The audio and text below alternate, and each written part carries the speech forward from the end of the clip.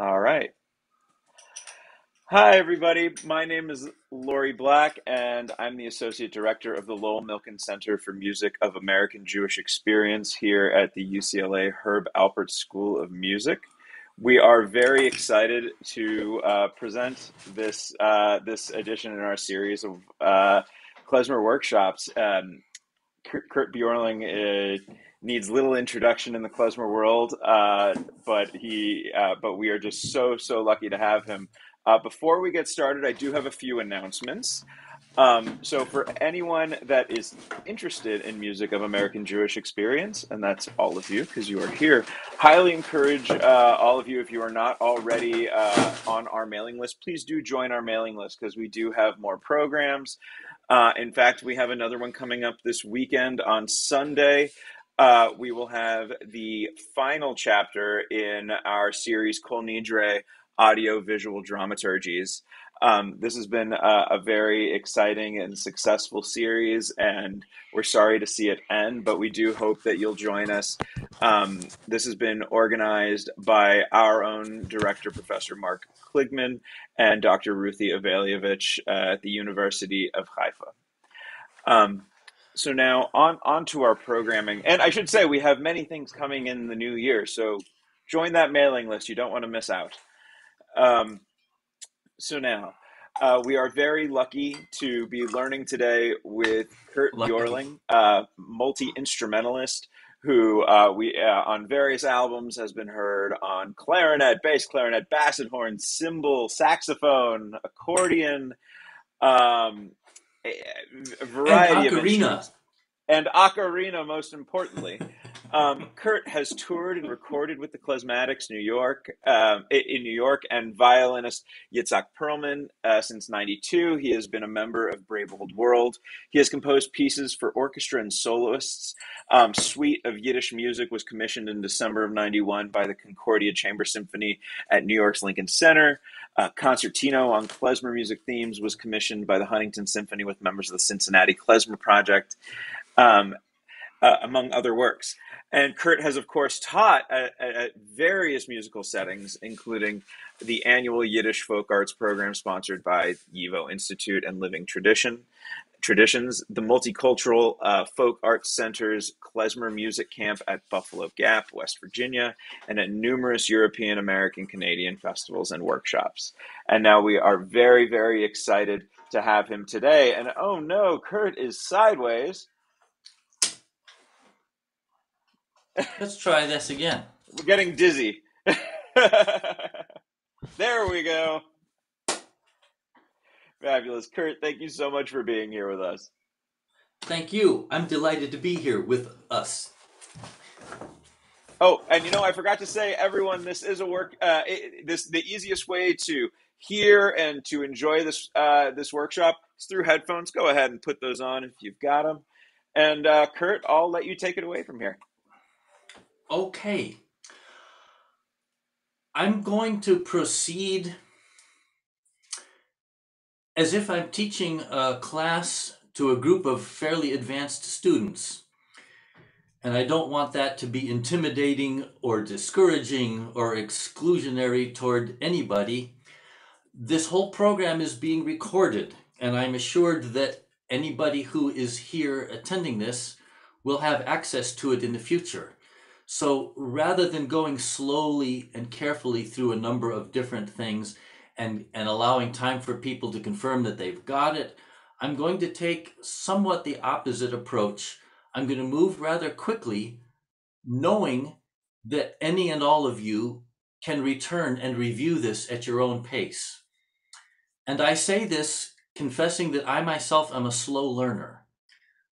I cannot count the times that somebody has heard me somewhere after seeing me get started working on something and commented at how well I how well I learned it, how well I play it, and I have to point out, yes, I picked it up, but I wasn't able to make use of that information right away. I took what I picked up from the occasion, I went home with it, I practiced, and maybe it's because it was so difficult for me, I practiced more carefully and more thoroughly with the result that everybody was impressed and think that I did some major thing of, of so quickly and, and completely assimilating something that they found difficult. So I'm encouraging any and all participants to take the same approach.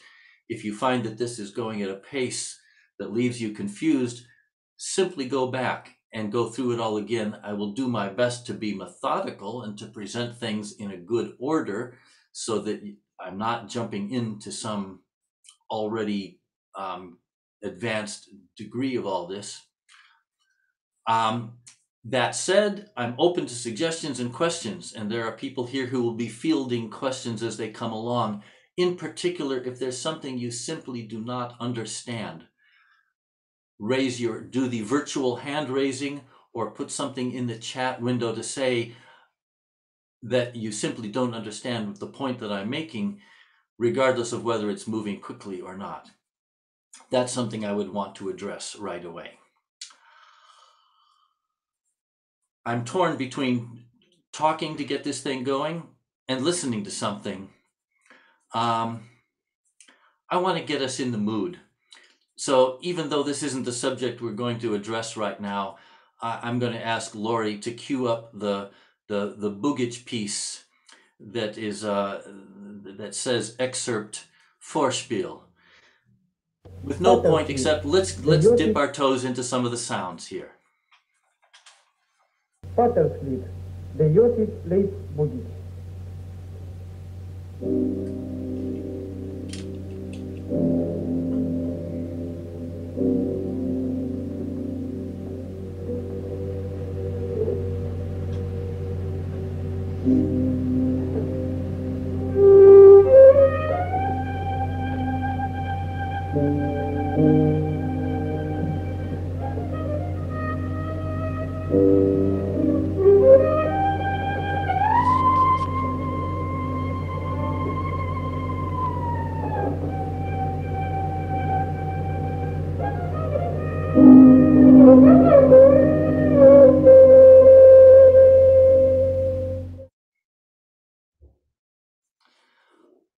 This was only a very short excerpt.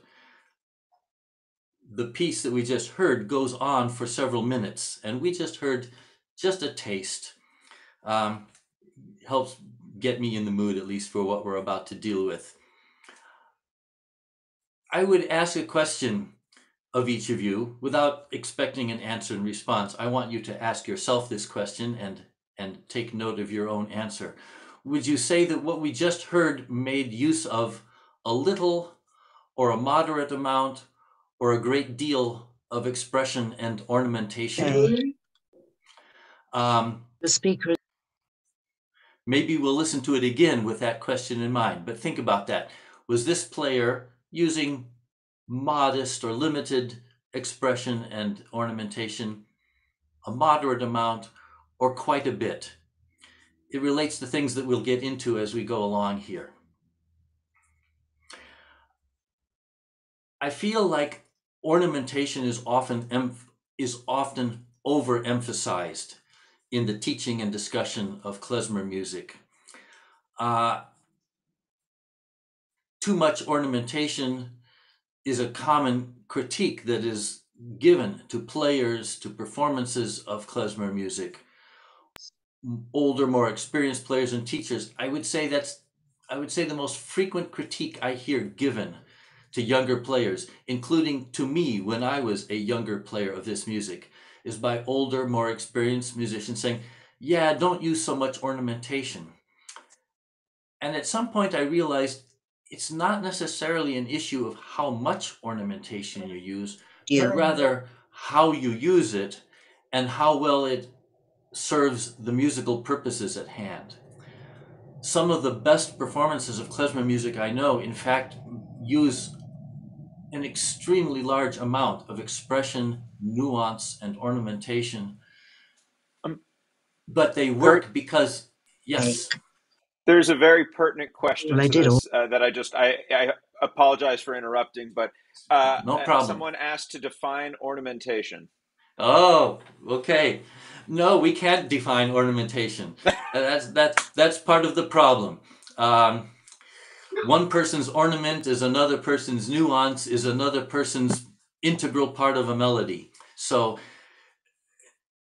you can pretty you can make some pretty clear cases if you've got a fairly plain melody and one player chooses to play a trill on a particular tone where others don't, you can pretty clearly say, well, that was an act of ornamentation, adding a frilly little bit of something decorative.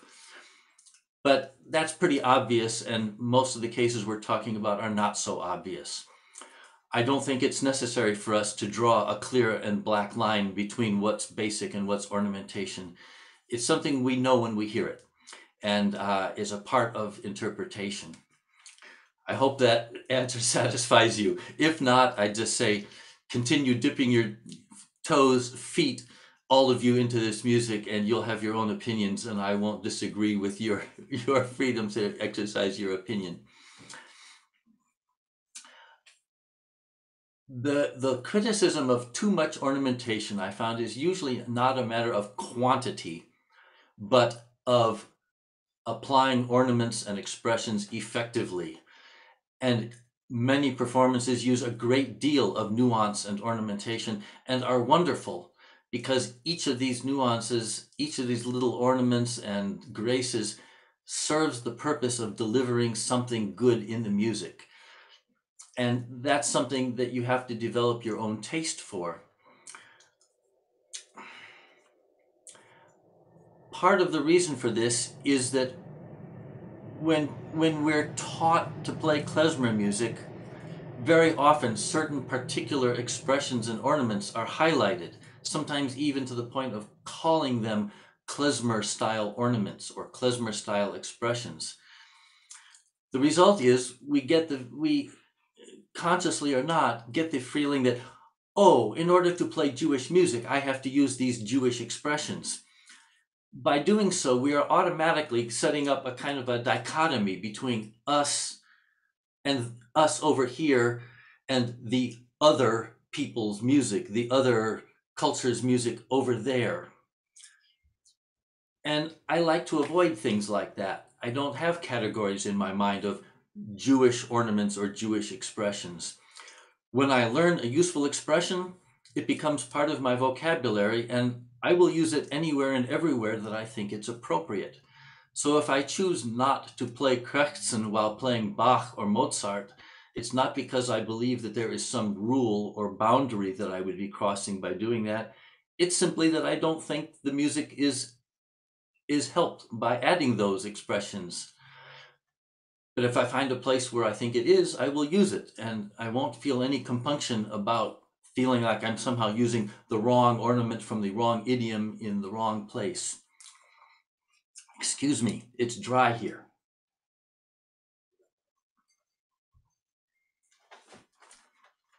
A related aspect to all this is that when we identify certain features, certain stylistic elements, certain nuances, certain ornaments and expressive elements, we think, oh, here's a wonderful thing. Here's a wonderful device I can use to make my playing more klezmer like, more Jewish, more true to the character of the tune.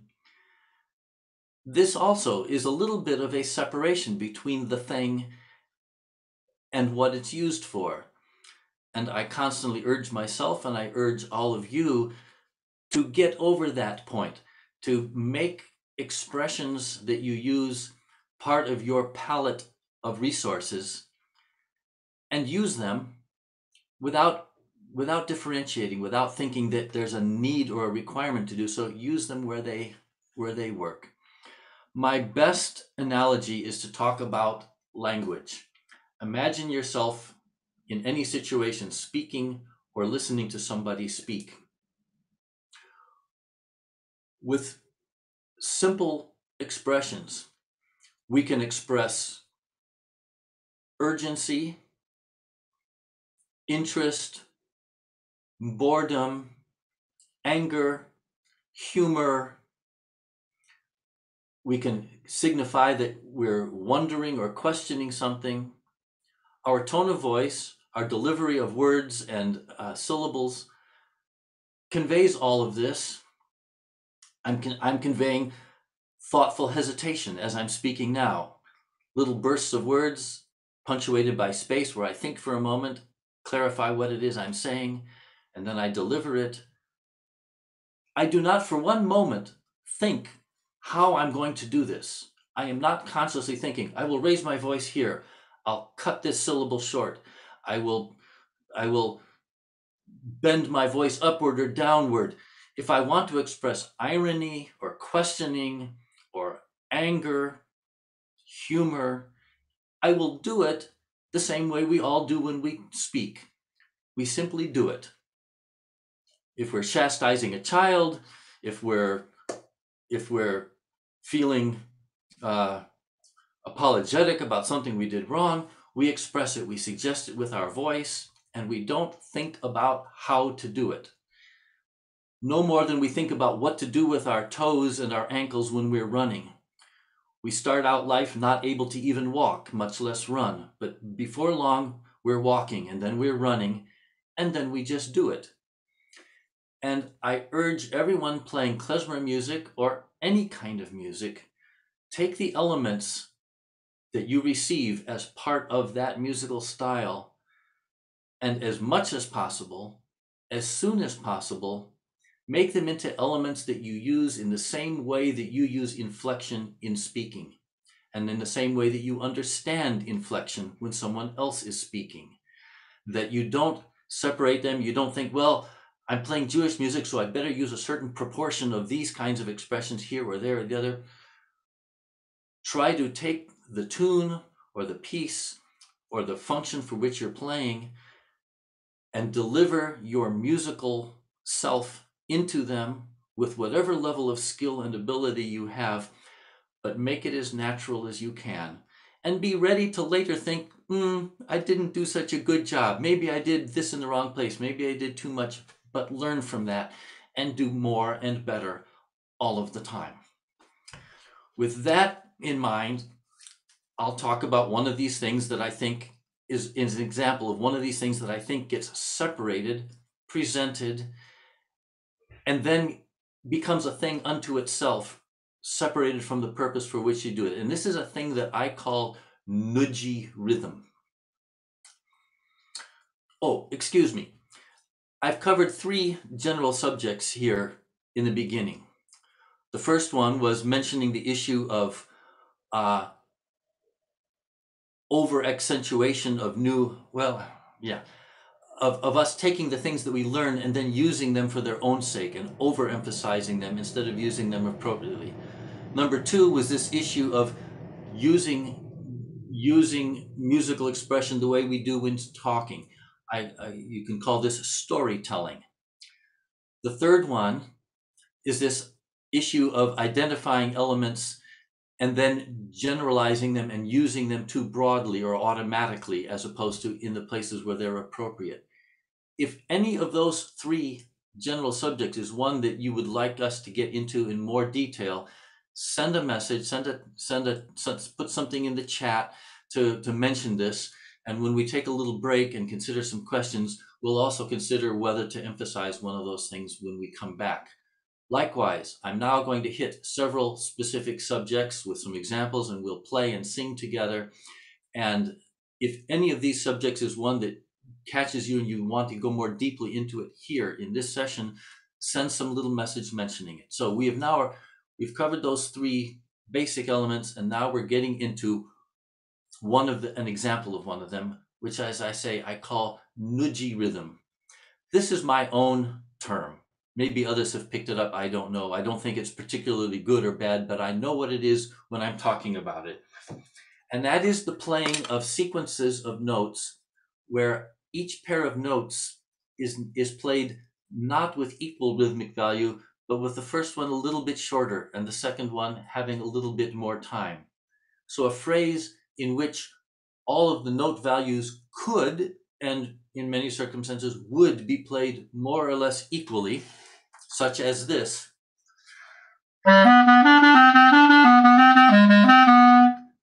Gets played with a little bit of a push on the first. That's what I call, to me, each little pair of notes is like somebody nudging at you. They're trying to get you to do something. They're pushing you, not necessarily forcefully, but there's an urgency to it. So instead of even roughly equal tones,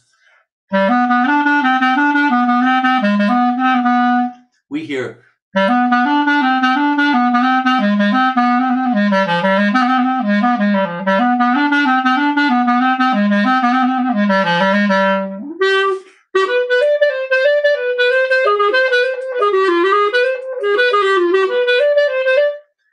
hope this is clear enough. Here's a good example where if you're confused at this point and thinking, oh, I need to hear more, remember, you can go and play this whole thing back again. Maybe make a note now of the time if that helps you to find the space you want. But I'm simply going to let that serve as an example and proceed directly with talking about this.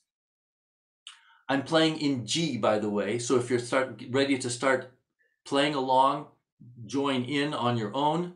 Make sure that you're uh, uh, muted. We don't want a chaos of sounds all coming all together here, but you can play along with me.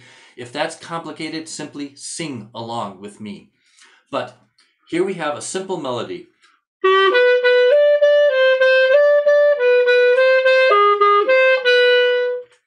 In which these pairs of 16th notes sound very effective when played nudgily.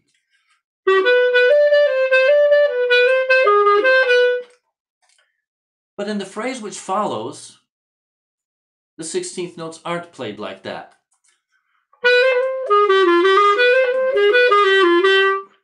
And if I do play them like that, they start to sound a little bit overdone.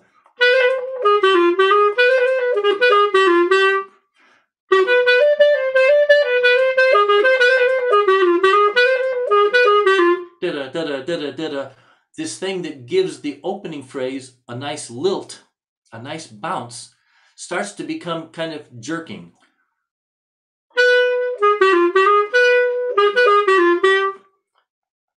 Maybe you disagree. Your own taste is your own and use it always with confidence, but be ready to change. and um, in my sensibility, Makes me feel like now instead of being nudged forward, I'm being jerked around, and I don't like it.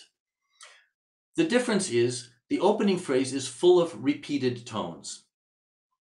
Each pair of tones involves two different, each pair of notes involves two different tones, but each two note phrase starts on the same tone that preceded it in the preceding pair.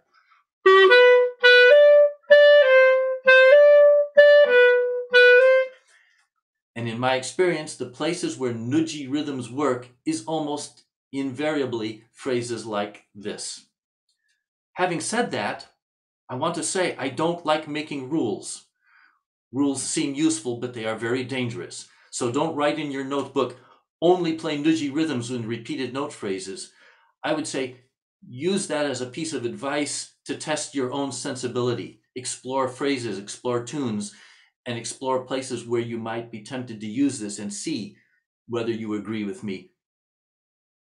Even if you do agree with me, don't make it a rule, but maybe use it as a little uh, reference point. Descending phrases often use these replace, so you'll something like this makes perfect sense for these little nudgy rhythms. We're going to practice this a little bit. First, by simplifying this melody. So if you're playing along, singing along, I'm going to play the notes G, B, D, C, D, B, C, A flat.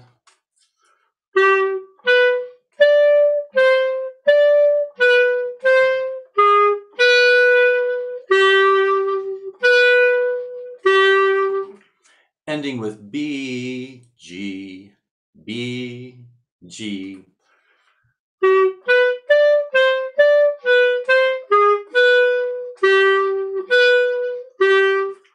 Then I repeat the whole thing and simply repeat the note G at the end.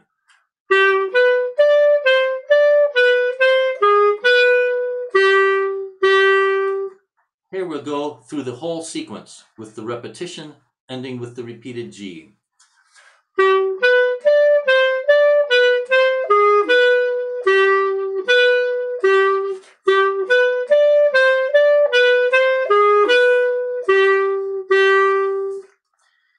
all together in a room, I would be now asking questions. What do you observe? What do you hear? We can't do that in this virtual setting very effectively. I will simply tell you. So far, I'm playing this in what I consider a fairly neutral way, but I can't convince myself to really do that. I would have to forcibly tell myself, play every tone flat and level.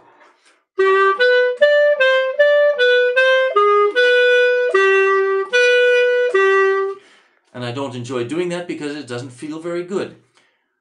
Consciously or not, I'm putting a little bit of bounce into each tone. And if I'm really trying to play musically, I generally put a bit more of that in than I've done so far.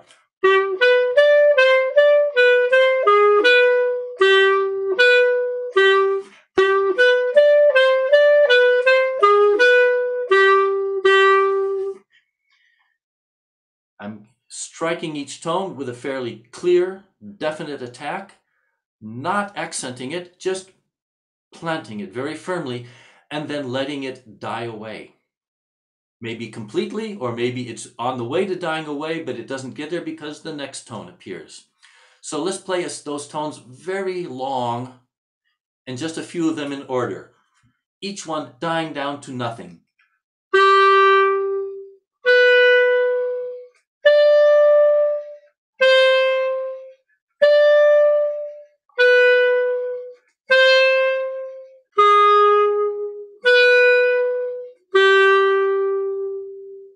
This is very different than going.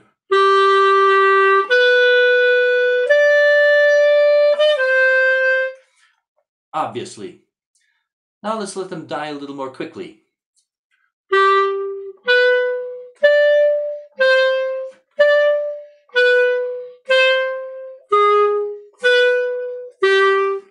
I think you see where this is going. Now let's put them in more or less good good rhythmic relationship to each other. If they don't completely die away before the next tone starts, okay, this is something you can do on your own and decide how much of this is a good thing.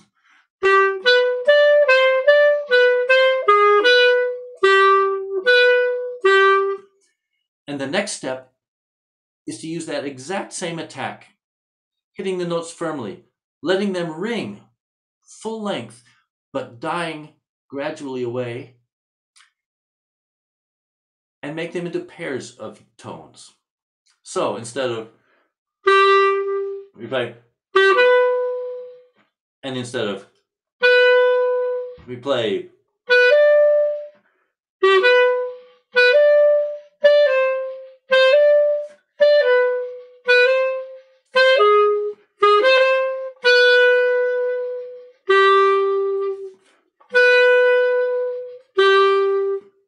faster.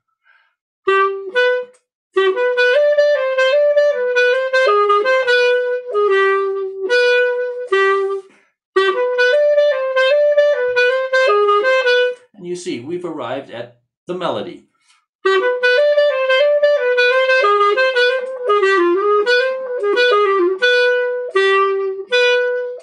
Becomes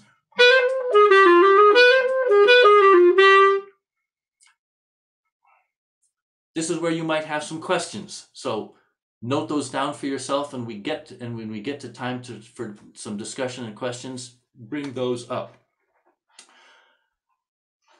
One of the things I often hear as a result of teaching this nudgy rhythm, which others may not call nudgy rhythm, um, as far as I know, I'm the only person who calls it that, is that this feeling of nudging forward against the short uh, words fail me at this point. The musical thing that we're doing of playing, attacking a two note figure with a short first note often causes many people to be led to thinking that everything is short about this and it becomes. And as you can hear, this immediately sounds rather brittle and abrupt. Again, it, re- it returns us to a feeling of being jerked around rather than being nudged or pushed forward. Nonetheless, I would say don't make a rule. Don't think Kurt said only play them long and drawn out with decay, don't play them short and pointy. You will find places where short, pointy ones are exactly what you want to hear and play, but have a range have a range of expression that you can use on this, going from to where you're holding it full length. And in between these two is one where the note dies away so quickly that it ends before you get to the next one. But because it dies gracefully, you still have the feeling that you're gliding through this thing rather than being bumped through it. I hope you can hear the difference between and the main difference being that the second note in one case gets terminated abruptly shortly after it sounds, and the other where it simply goes bum and disappears quite quickly. And when you get up to tempo on a tune like this, the latter is the one that bounces and bubbles us forward.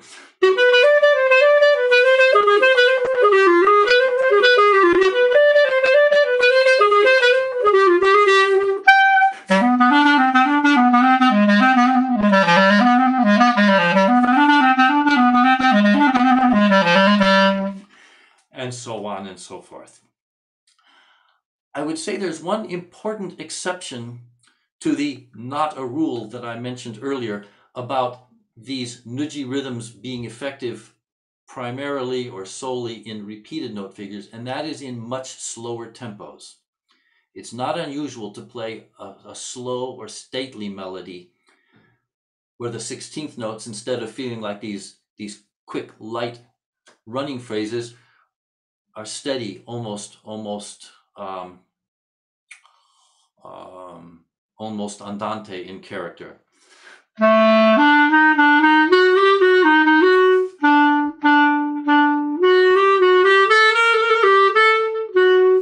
And sometimes we use nudgy rhythms in phrases like that.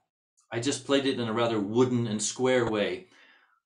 But the nudgy rhythms work backwards also in not only the nudgy pairs, but the delayed pairs. So it's typical of me that I play a phrase like that with the first note lengthened rather than shortened, sort of like pulling us into the beginning of the phrase, but followed by some nudgy rhythms that sort of balance and bounce against that.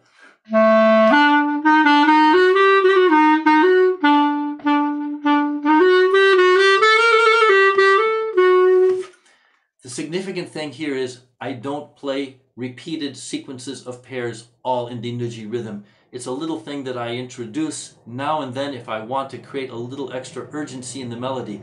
But if I do it throughout, I think you will agree, it quickly becomes boring or stiff, or it just takes on a kind of a mannered quality that no longer serves the musical purposes.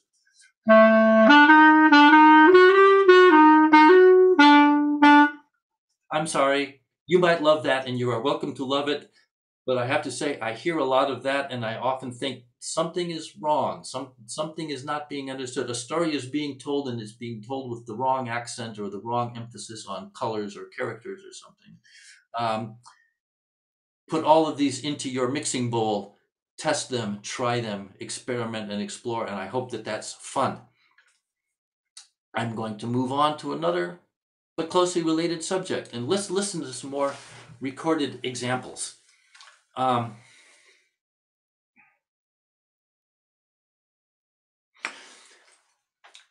let's listen to let's listen to that bit of Vorspiel again from uh, Avram Bughici.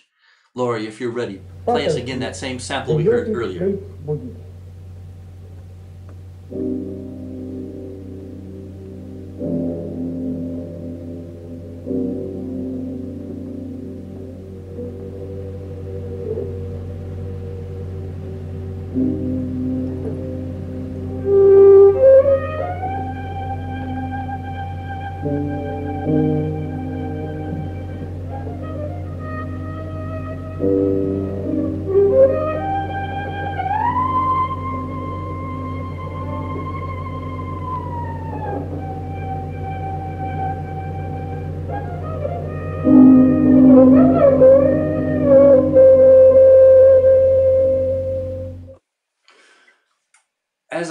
Before, this is only the opening statement of a long three meter section like this, played prayerfully. and calmly, and yet, as you will notice, with lots of little bits of urgency. We will come back to that subject later.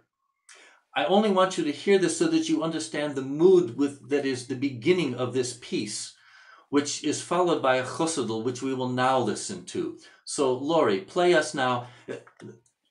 The portion we heard is, I would say, maybe roughly one tenth of the entire prelude, Vorspiel, and with a brief pause during which the notes of the instruments are still ringing before they start, we then hear this khosidl, which, Laurie, it just says excerpt.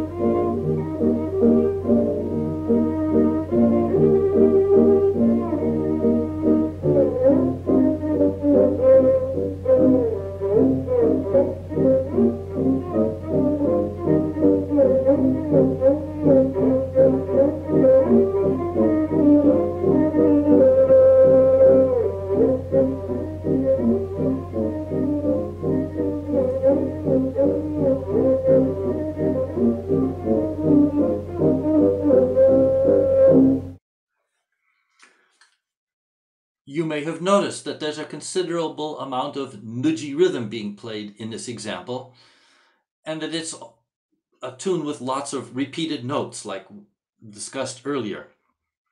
But there's another element going on here. Um, Laurie, is it easy for you to specify uh, a certain point in time on a recording like this and start it at that Sure. time marking?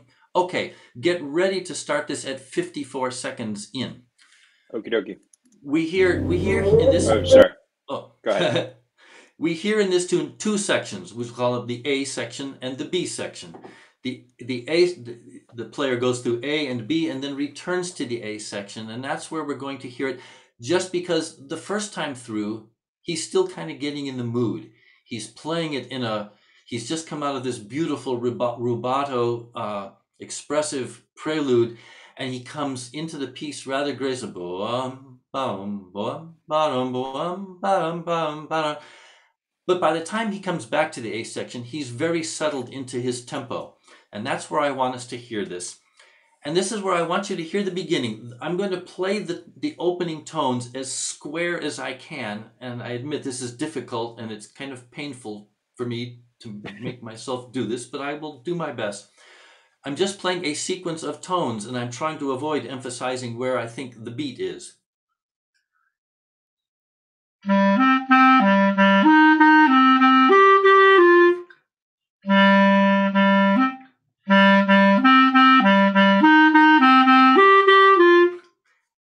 In that opening bit, from the lowest tones working its way upward, and before it begins descending, I want you to listen and I want you to tell me is is this the note that's on the beat or this?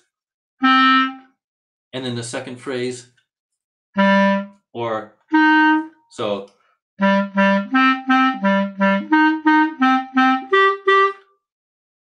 listen, we're going to listen twice.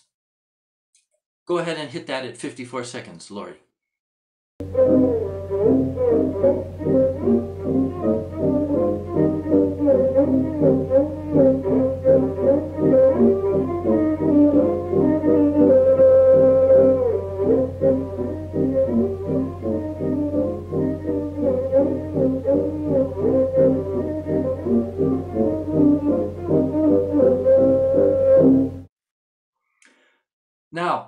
There is no question that the violinist is playing the lower note of each pair before the beat as we hear it from the piano.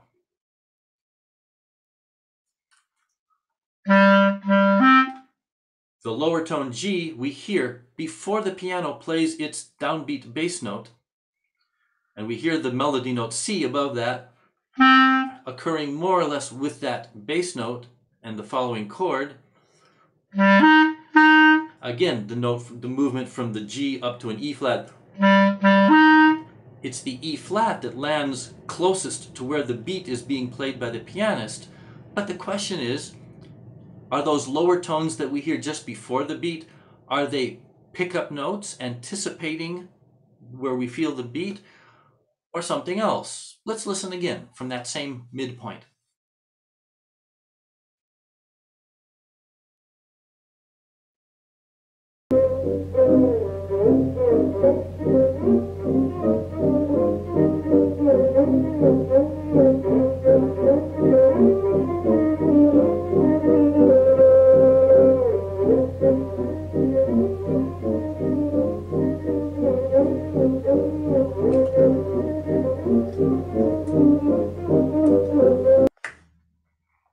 Thank you. Lori, thank you for your help and for your enthusiasm and everything else that you've projected from the beginning of our first conversation about this.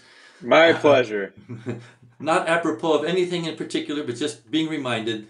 I'm, I'm grateful to you for all of those things and for us all being here together. This again is where in a room full of people, this is where I would love to be asking for a show of hands and for and for and inviting some questions and we would discuss and try to say, well, what's going on and what isn't going on. I will skip over all that and tell you what I think is going on, and I would invite you to return to this, review, listen, and get your own opinion. But here's what I understand is going on. Well, I'm not going to say what I think. We're going to just do this together. Bum, bum, bum, bum, bum, bum, bum, bum, bum, bum, bum. So I'm going to put my beat here. And I'm going to sing that lower note G, and then the G in the next phrase and the C in the next phrase, where they occur from the violinist, just before the beat.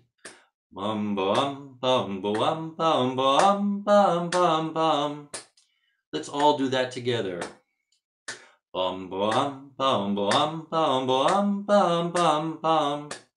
Again, ready, now.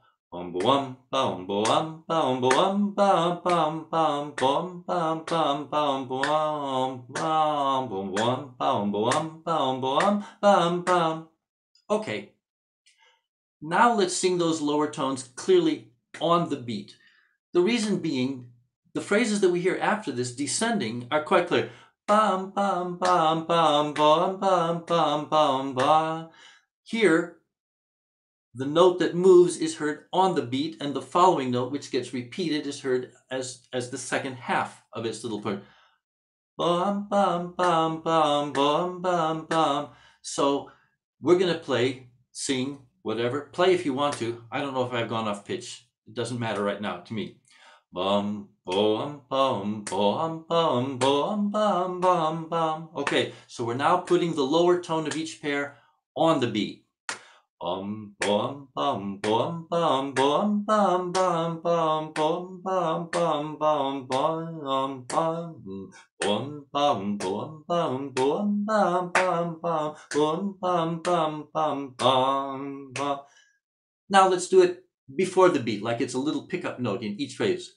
Bum bum bum bum bum bum bum bum bum bum bum bum bum bum bum. Okay, no problem. Either way. If it is a problem, review, play along, sing along, whatever. But now we're going to do something different. We're going to play those attack notes before the beat, just like the violinist does but we're going to articulate them as downbeat notes. So we're going to rhythmically, we're going to sing them bum bum bum bum bum bum bum bum bum. But we're going to articulate them, attack those tones as if they are bum bum bum bum bum bum bum bum bum. You got that? So let's do them as pickup notes. Ready, go. Boom, boom, boom, boom, boom, boom, boom. And now on the beat. Boom, boom, boom, boom, boom, boom, boom. Fine, right?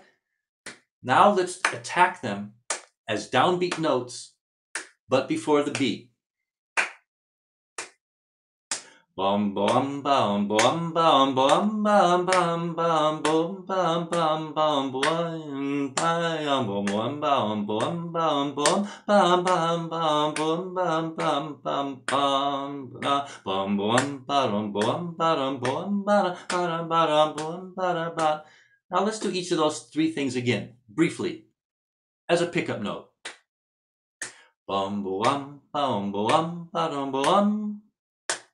and now on the beat, squarely. Bum, bum, bum, bum, bum, bum.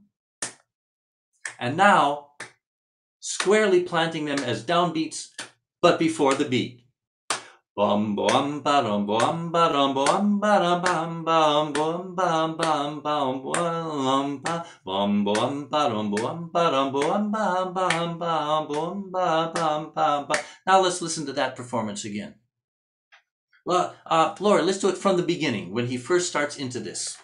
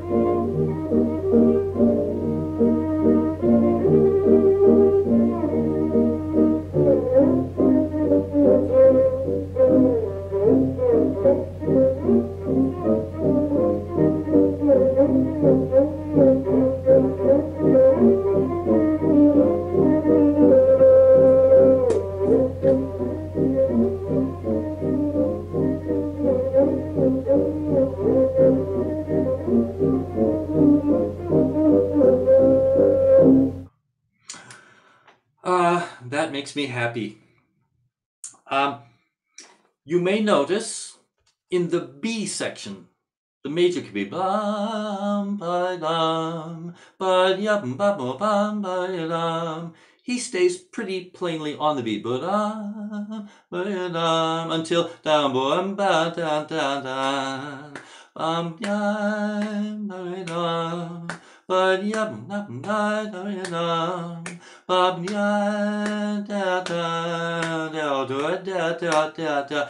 he's he's pushing the notes in front of the beat, almost a full note ahead of where the beat occurs. I urge you to take examples like this and then to experiment with other music that you play, other tunes, other subgenres of klezmer music find places where you find things like this might apply. We're going to hear what uh, in when I've done presentations like this of this subject with groups, the each of you is presumably sitting at home alone or with maybe one or two other people. So you, we don't have this shared experience of being a room full of people clapping a beat and singing these things and playing these things along. But I will explain, I've been delighted when I've presented this kind of material and we do all the different steps. We do it before the beat, we do it on the beat, and then we do it with that funny thing of hitting it on the beat, but arriving before the beat. And then I tell everybody, okay, now let's go back and let's just put it plainly on the beat. Bum, ba-dum, ba-dum, ba-dum, ba-dum, ba-dum, ba-dum, ba And I say, what is it? And everybody says, it's boring. And I feel relieved and gratified because that's what I hope people would say, but I can't force them to think or feel that. I wonder whether you're having a similar reaction. I don't know. But let's listen to, just so that we understand that this is not some anomaly. We're not hearing one particular and peculiar player with a with a rhythmic idiosyncrasy. We are now going to hear an entire ensemble playing the opening phrase of a rather plain melody, again involving lots of repetition of up and down notes, and playing well ahead of the beat at the beginning, settling onto the beat somewhere in the middle, but toward the end, as they get toward the end of the phrase before repeating the whole thing, again, you hear phrases that push forward, no longer involving phrases starting ahead of the beat, but phrases starting and then rushing ahead so that the ending notes arrive before the beat. It creates a feeling of tension, of excitement, and here we go. This is the Lori. This is the one titled um, "The Rebbe is gegangen."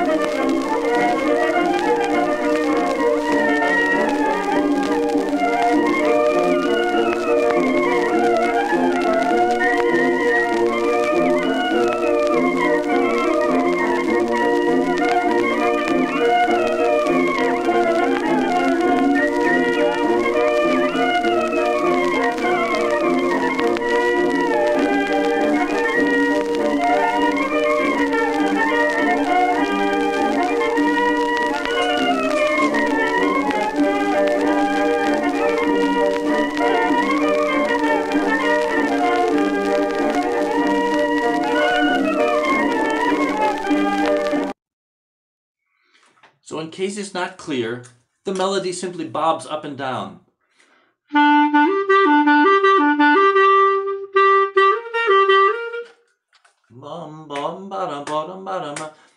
But the band melody players are starting a full note ahead of the rhythm. Bum bum ba-dum bum ba-dum bum bum bum bum ba-dum bum ba-dum ba-dum ba. Then they settle down, settle into ba-dum ba ba-dum ba-dum ba, and then rush out dum ba-da-da-dee-da-da-da-dee-da-dee-dum bum bum ba-dum bum ba-dum bum bum. And at various points throughout the rest in the phrases, the phrases rush ahead. So yeah da da da da da da da. So a phrase that ends ya ba da ba ba da da ba dee bum they get to that ending note so that the that that little upper auxiliary is the one that occurs on the. You can review and listen for your own sake, but let's move on to other things. Say, starting with the fact that we're almost an hour into this. So this is a point where I would like to allow for some questions. Maybe maybe some questions have already been answered in the chat. Maybe some of you have have raised hands. Oh, and I'm being delivered a list um, of some questions. Oh, interesting. Okay, I'm going to say, I'm going to simply, oh, there's just two of these here. Um, it says, if you're working in an ensemble, don't we need to coordinate and agree how, where to use the embellishment? Hmm, I'm going to need to ask for some clarification or spe- more specificity. Um, and the second one says, using emphasis slash accents appropriately. Uh, oh, it's a focus wish. I don't know what a focus wish is, but maybe someone can explain it to me. You asked earlier what they wanted, and Ah. that was the reply. Oh, focus. Uh, uh, focus wish. I still don't know what a focus wish is, but it'll it'll all become clarified in due course. Uh, does anyone have a hand raised with a question that they want to ask? Feel free to raise your hand or even just uh, yeah. Oh, Henry Morgan. So I'm the guy with that uh, question you were stumbling over at the beginning with the Uh-huh. ensemble question. Uh, it seems to me that you have to agree within the ensemble about how to use whatever the embellishment is. Otherwise, you end up with a pretty bad mess if everybody's doing their own embellishment every place, right? Hmm. So there's some some kind of coordination that needs to happen, whether that's um, whether that comes about because the ensemble is tight and they really know each other well, or whether there's some pre-decision about this section's going to go this way and we want this to happen. Hmm. Yeah, it's a great question that has a wide it has it has a family of possible answers and solutions and it depends a lot on what what the overall style you're projecting is. There are examples of klezmer music by for instance Dave Tarras from the late 1930s early 1940s especially in his trio where things are so lean and so trimmed there's a neatness and and a and a, and a accuracy about what's going on that you can imagine that if the clarinet and the accordion, for instance, would be playing the melody at the same time and doing things in different ways, it could sound cluttered or confusing. But they simply avoid that by never playing the melody at the same time. The accordion accompanies the clarinet, and then the accordion occasionally takes over the melody. And this is in the context of a trio where there aren't other uh, melody instruments around. On the other hand, in some of Dave Tarras's earliest recordings that he made in the 1920s and in numerous ensemble recordings, both small and large, you hear a great variety in rhythmic attack, nuance, and ornamentation between different instruments. And it can sometimes sound a bit chaotic, but if all of the players involved have a sense of direction, have a sense of purpose and intent, these things add up to a beautiful a beautiful spaghetti of sounds. Spaghetti is the wrong word. I usually use spaghetti when I mean something so so so mixed up that you can't make heads or tails of it. But um, this is, again is a matter of taste, but I would say intent, intent and understanding of what a melody is trying to say and how you can serve that or how you can amplify that.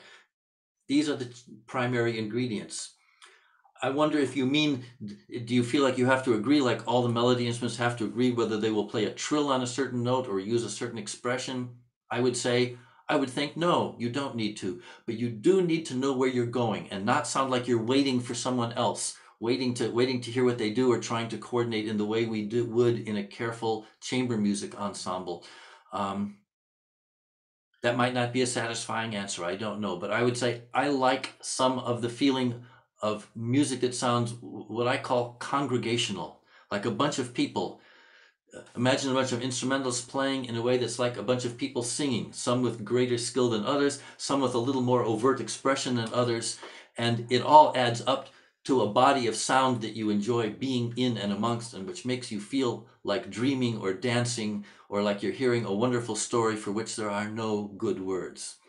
Um, is that a satisfactory answer for you? It helps. Thank you.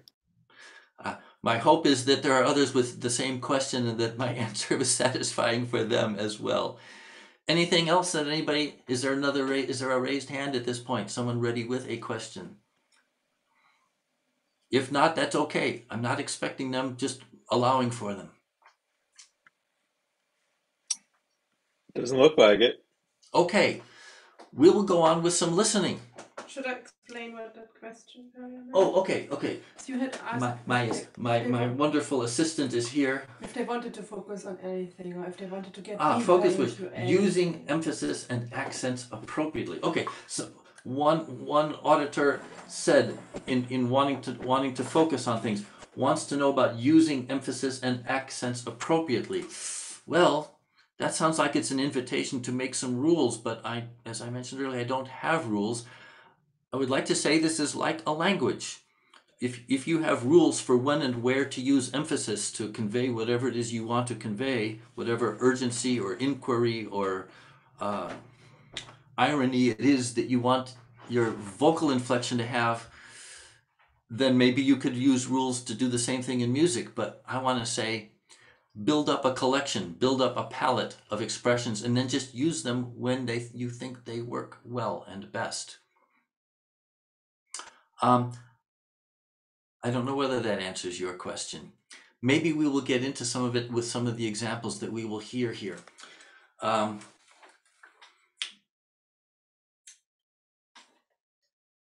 it's sort of the wrong time to do it, having already heard these things, but I want to frame what it is we've listened to so far. The first two recordings that we heard, as I say, are two different parts of one long recording. It was a homemade recording by a violinist who was a member of this klezmer family in the in the Romanian town of Iași. there was a long dynasty of klezmorim of the family named Bughici. One member of this family emigrated to America, Yankel, who published a tune under the name of Jack Bugich, phonetically spelled B O O G I T C H or something like that. Um, the Romanian spelling is B U G H I C I. The final I is not articulated as a vowel. The final I tells us that the C is pronounced ch instead of k. So there were numerous members of this of in several generations of this family of klezmorim, and they made some homemade recordings. I think sometime during the 1960s. Um, and these in turn, a copy of these in turn ended up in an archive of a sound archive in Jerusalem. And uh, I can't get into the whole history, but it's not a commercial recording. It was something made by the performers themselves for their own purposes. And mm, there's a longer, more elaborate history of other things that they that they produced. Part of the reason that I'm able to say with defin- with definiteness about the phrasing and the position in relation to the beat of those notes of the melody is that another collection of recordings made of some notated music by members of the Bughici family included that melody, in which it's then very clear which notes are written as being on the beat, even though the violinist we heard is playing them before the beat. Um, discovering that latter representation was an aha moment for me, um, as you can imagine. Um, Laurie, let's hear the thing that's labeled Vernadsky CD1 track number two. Not yet, though. I'll explain. Vernadsky is the name of the uh, National Library of Ukraine, the Vernadsky National Library of Ukraine, where an enormous amount of Judaica is is gathered and assembled, including a number of the recordings that were made by Soviet ethno, uh, ethnomusicologists as as uh, research work, and some pre-Soviet recordings that were made by um, names are escaping me, words are escaping me. I guess I'm already getting tired. Uh, excuse me. Uh, Zinovi, uh, Zusman Kisselhoff made numerous uh, field recordings before the Russian Revolution and it's possible that some of these that we hear are among those. I didn't I didn't go back into tracing Oh. where these come from, but the Vernadsky Library has issued a series of CDs collecting some of these recordings that they have on old cylinders.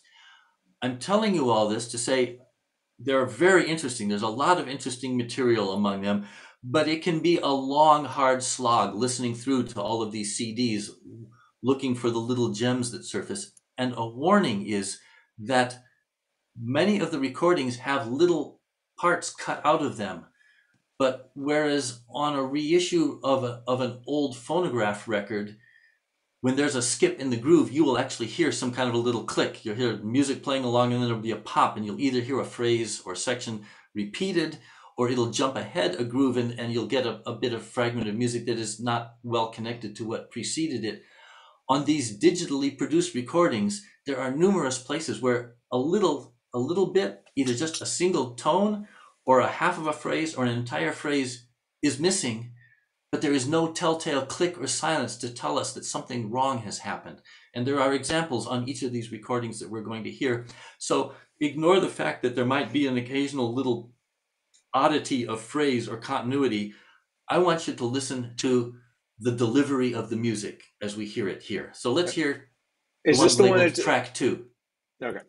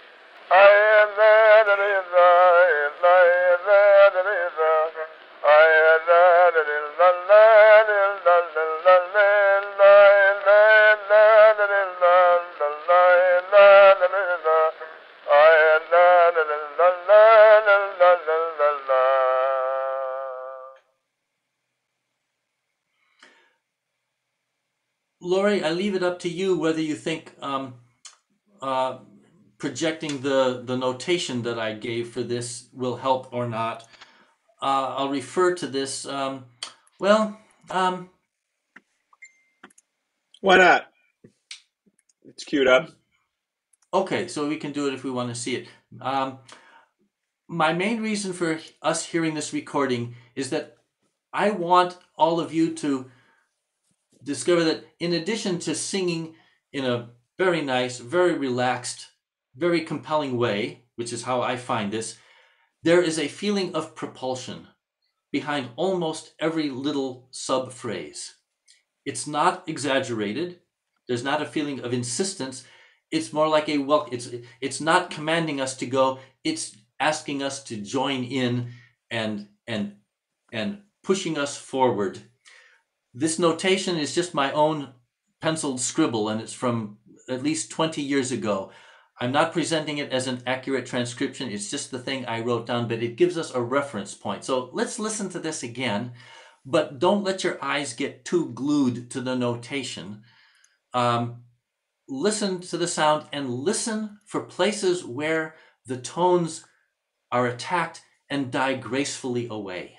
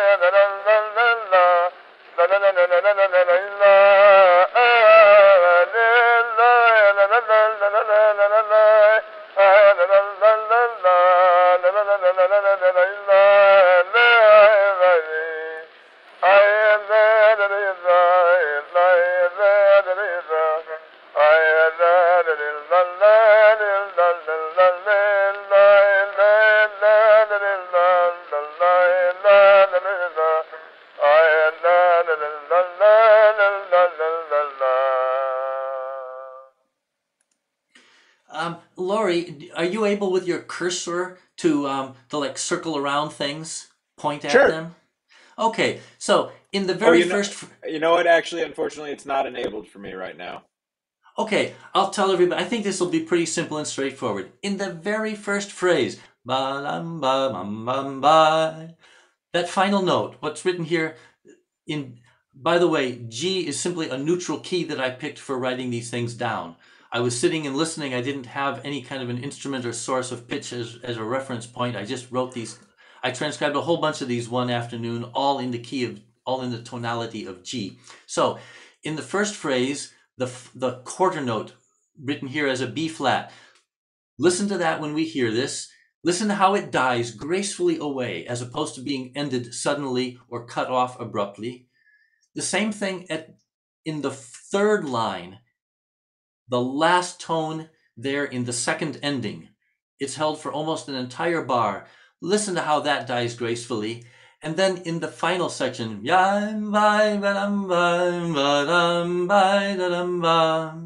that B flat, which is written as two tied eighth notes in the middle of the bottom line. Listen to how that note dies gracefully away. These are not the only examples, but I want you to be sure to notice these while keeping your ears open for others. First phrase, the final note B flat. The second time we get endings on the second ending, the ending note B flat, and the B flat in the middle of the third passage. Let's hear the whole thing, and like I say, don't get too glued to the notes, but be, take particular notice of those and see if you don't hear other similar things happening on many other places in this. And at the same time, recognize the feeling that this gives us, there's this throbbing, pulsating sense of rhythm. No drummers drumming, no bass players giving anything. This simple voice alone gives us this very compelling dance like rhythm. And in fact, the title of the piece is Freilachs. It's a, it's a dance melody and played in a very danceable way by this vocalist. Here we go.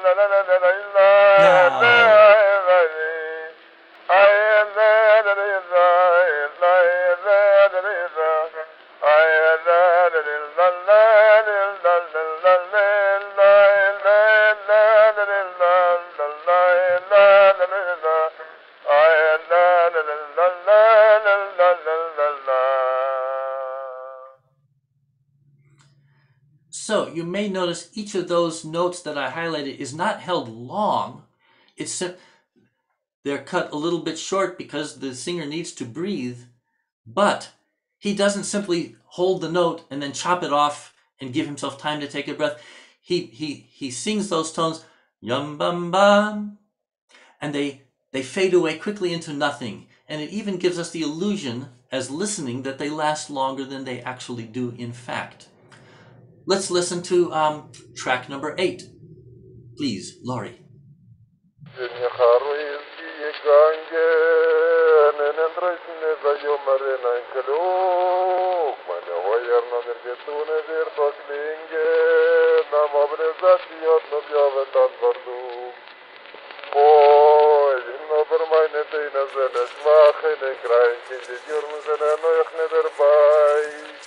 Der Ringling aus der auf der Reulerbank ist reiß. Der Ringling Kasarm auf der Reulerbank. Die Nähm ist nur so gedreit. Ich bin doch in Kasarm Marariefe. Wenn ihr so sagt, dann singen zu den Wehen. Ich gib mir ab, ich fäsch die Tiefen. Na, Papa, mit meinem so, auf den Kopf zu gehen?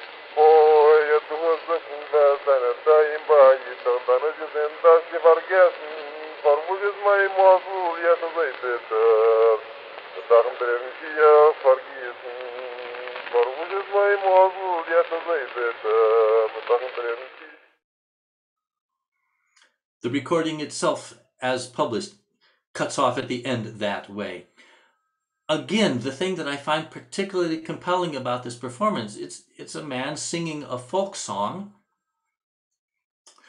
It's got a rather dark subject. He's talking about coming out of his house and finding a pogrom in process, people being chased through the streets and and and injured and murdered, and um, it's not a happy subject. And yet, he's delivering this melody with this feeling of of I would so no longer say it's no longer bouncing. It's not a dance-like rhythm, and yet there is this propulsive rhythm that gives a sense of urgency. But yum bum bum bum bum bum bum. He's not just going da da da da dum da bum bum. It's not march-like. It's not declamatory. It's got this urgency to it, telling us. To me, it says, "Listen, listen, listen. I've got something for you. I've got something. It's good stuff. Listen, listen, listen."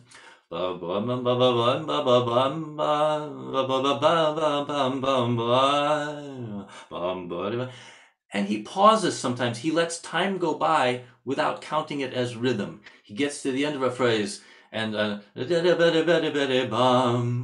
wait. Bum bum bum. Wait. But this bum ba da bum ba ba bum ba ba ba bum ba ba bum bum bum. It's like a lot of uh, tunes that we hear sung without words, where the the not so nonsensical nonsense syllables that are sung give this same feeling of proportion. But here he's singing words and he's getting the same kind of of propulsive nuance and urgency that we get from hearing a chassid sing bum ba da ba ba di ba di bum bum bum ba bum ba ba bam bum bum bum bum. Let's listen to just a little bit. Give us like 20 seconds of it again, Laurie. Oh, sorry. Let me cue it right back up. Just Yeah. one quick second. Clicked out of it.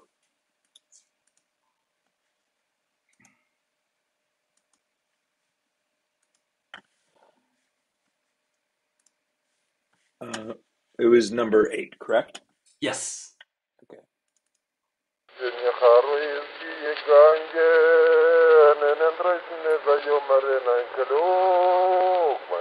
gärna när getone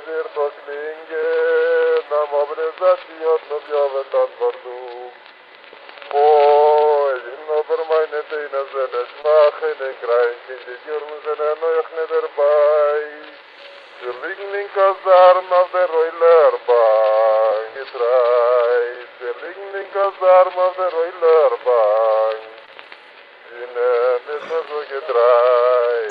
Gibt noch in Kasarn mal er ein wenn ihr so dann dann singen zu um nein. Es gibt mir ein Weg, dass oh, ich hieße, na papach mit Mangur auf den Kopf zu gehen. Oh, ihr tust es in der Seine Zeit.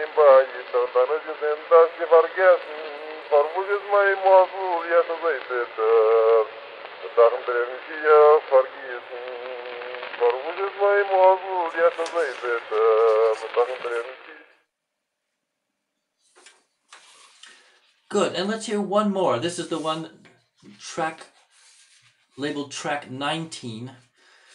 It says that this is the Reb David Karliner's Niggin.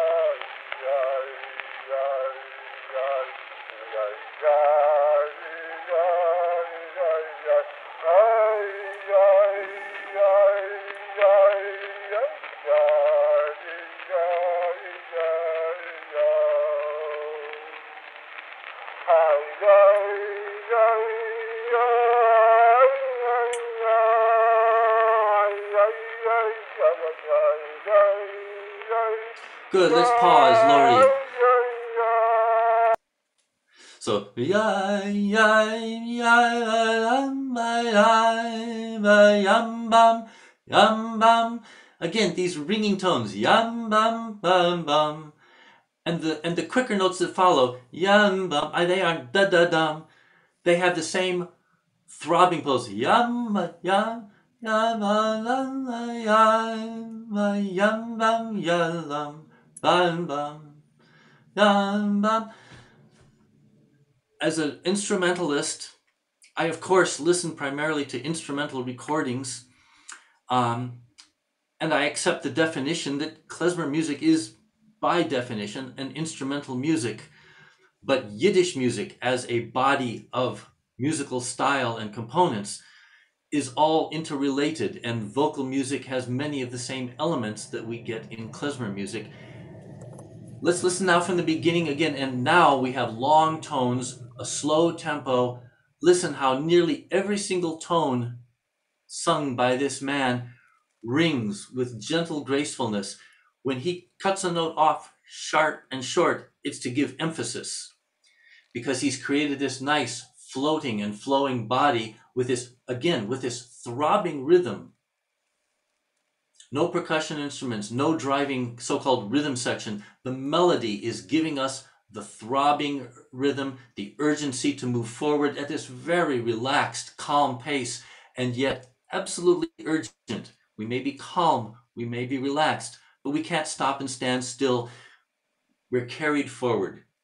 Listen to tone execution and the delivery of nuance and pulse from the beginning.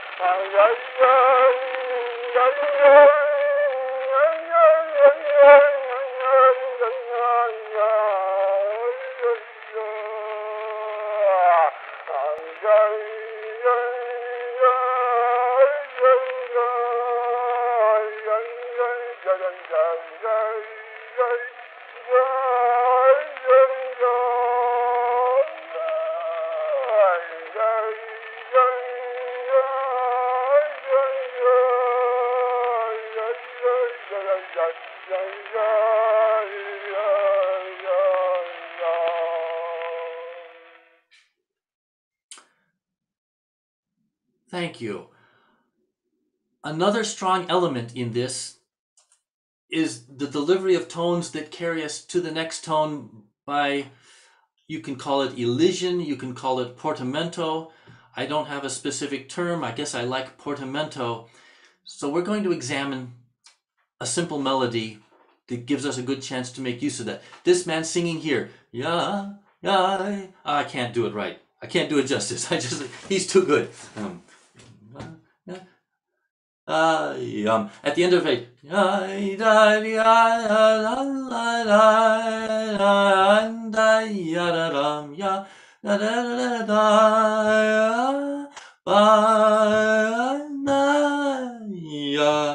he first soars upward,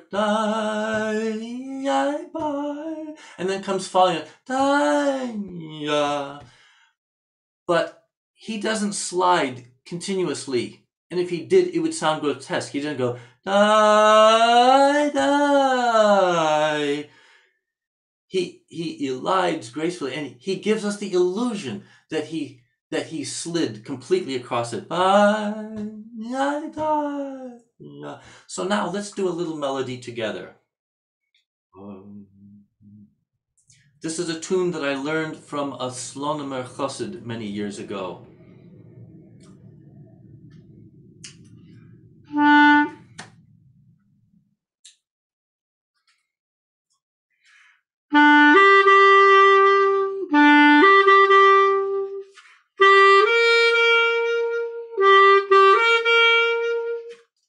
this much. A pickup. Lambada.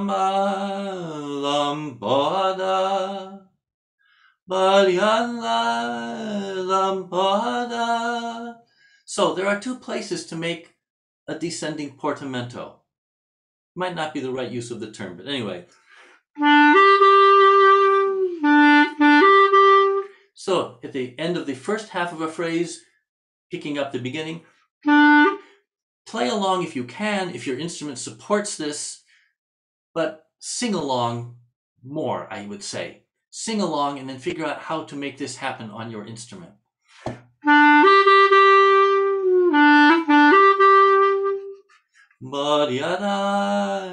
Uh, and you notice we don't go uh, it's nothing so overt or explicit.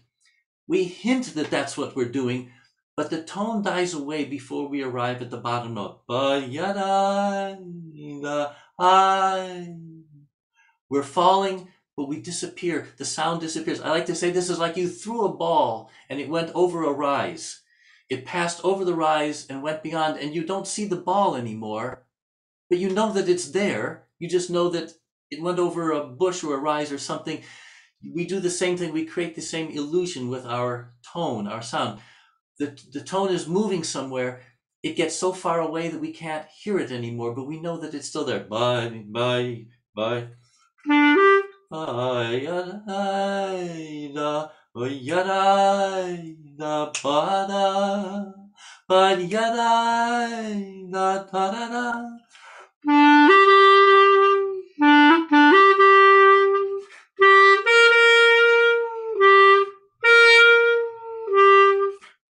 Now on the clarinet, we have a little bit, a, a, a, technical faculty that supports this. As I'm playing this open tone G,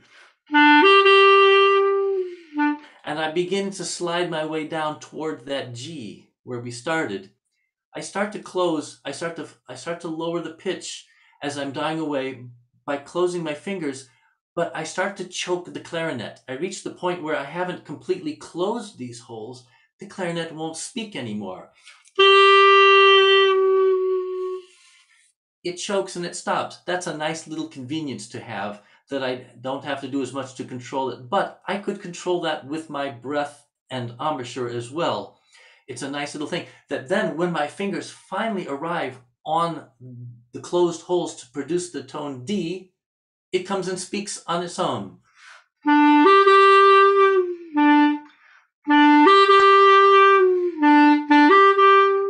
The same thing here. I'm going to play a tone up here in what we call the throat of the clarinet. Now I have keys controlling. I, I don't have as much control, but I can still shade the sound and choke the sound. And when I finally let go of those choking fingers and play the open tone,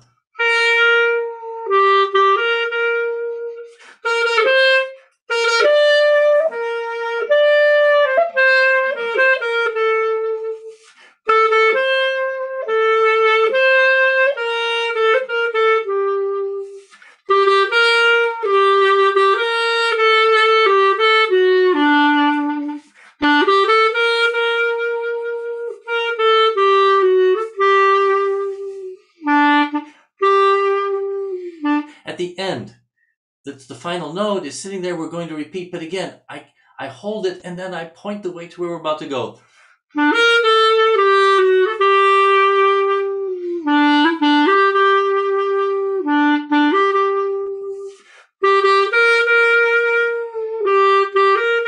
So sing or play where you are pointing the way to where you're about to go. But you don't slide well let's do an experiment let's simply slide brutally firmly all the way down Ba-ya-da, ya-da-da. Ba-ya-da, da-ba-da. and now let's do it a little more gracefully Ba-ya-da, da-ba-da. Ba-da-da, da-ba-da-da. Try this on your own. Find numerous places, phrases, tunes, melodies, whatever it is, where you can make use of this. The exact same thing works in the opposite direction, but requires a bit more care. When we sweep upward toward an important note, um, you want the feeling that this portamento or glissando came from out of nowhere.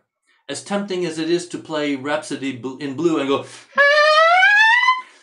we really are not observing the best use of our expression when we do that. That's for showing off. But when you want the melody to show off, oh, I wish I had an example.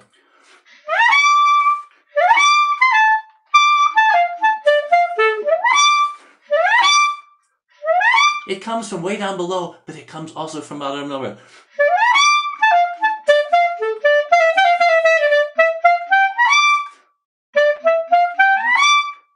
Do not play.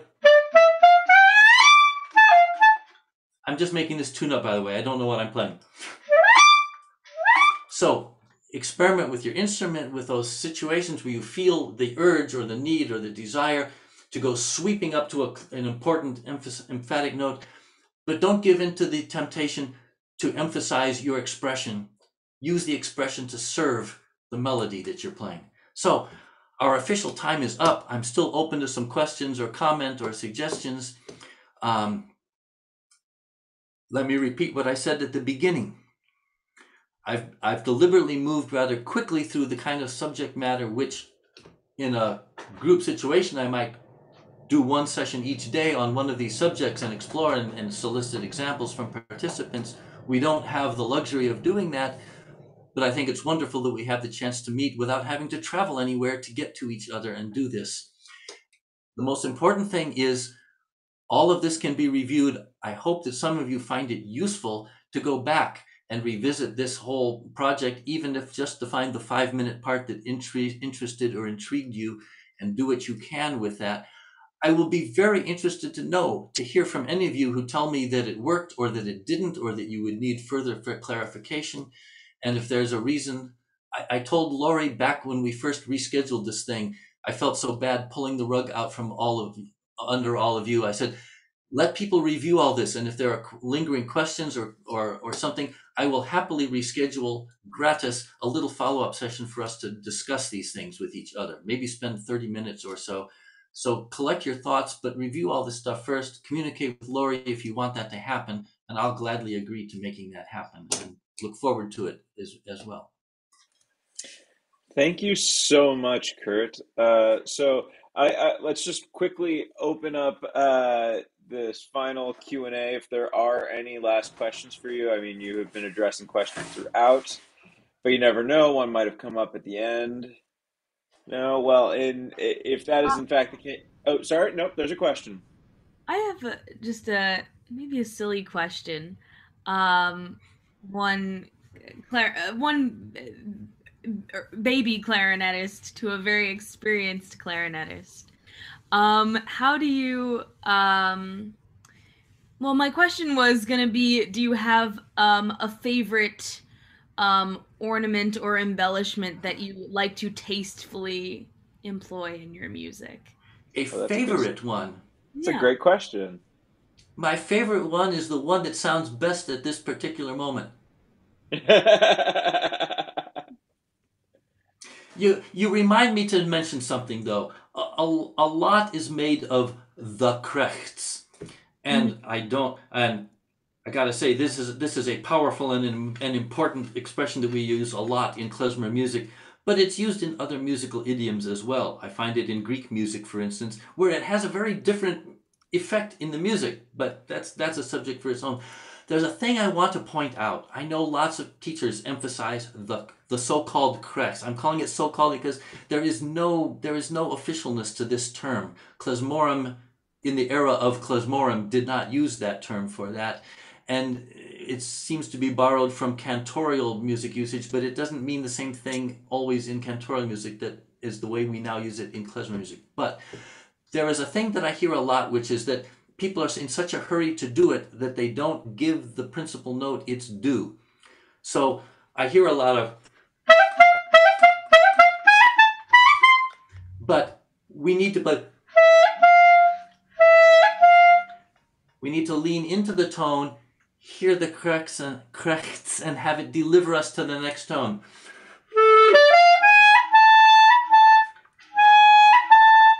And I hear a, too much of It's done in a hurry. Do not always do it in a hurry. Do it in a hurry when the music is hurried. This makes sense, but